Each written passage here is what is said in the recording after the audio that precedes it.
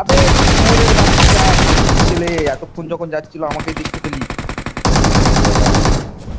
ডিরবাট ডিরবাট